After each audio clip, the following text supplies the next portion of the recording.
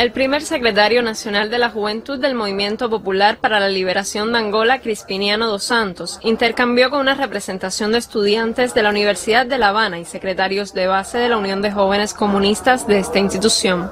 El también miembro del Buró Político del Comité Central del MPLA reconoció la voluntariedad de los jóvenes universitarios en el combate contra la COVID-19, se interesó por el estudio de la historia y reafirmó los lazos de amistad entre Cuba y Angola. Y me fue informado, y me fue informado que una de las vacinas que una de las vacunas que están a salvar que inúmeras están vidas salvando innumerables vidas debido à pandemia da Covid-19 debido a la pandemia de la COVID-19 foi desenvolvida nesta instituição. se, se desarrolló en esta institución.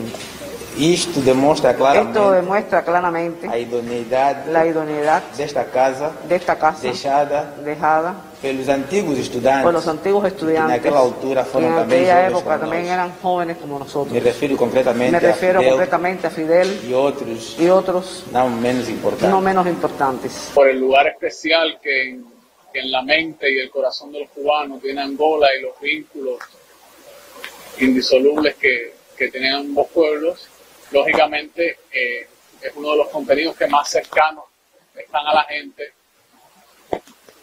porque muchos de nuestros familiares estuvieron en la guerra de Angola. Los jóvenes cubanos se interesaron por el funcionamiento de la organización juvenil angolana y explicaron al visitante la historia de la FEU y sus retos actuales en la representación de una masa juvenil cada vez más diversa. Arlet Basayo García, Sistema Informativo de la Televisión Cubana.